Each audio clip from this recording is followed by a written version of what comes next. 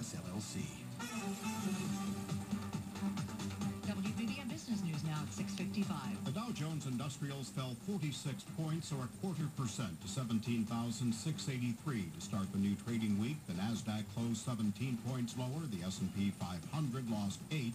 The services sector expanded last month at a faster pace than in May. The Supply Manager's non-manufacturing index edged higher in June as sales and orders picked up. Service industries account for the lion's share of economic activity in the U.S.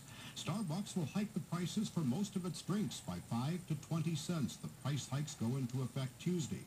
Dunkin' Donuts is adding some fruit smoothies and frozen drinks to its menu for the summer. Mondelez International is rolling out Oreo Thins. As the name indicates, they are thinner Oreo cookies with fewer calories than regular Oreos. American Apparel is planning to close stores and lay off workers to cut costs. American Apparel did not say how many of its 239 stores will be closed. With business at 25 and 55 past each hour, from the Bloomberg Newsroom, Jeff Bellinger, News Radio 780 and 105.9 FM. W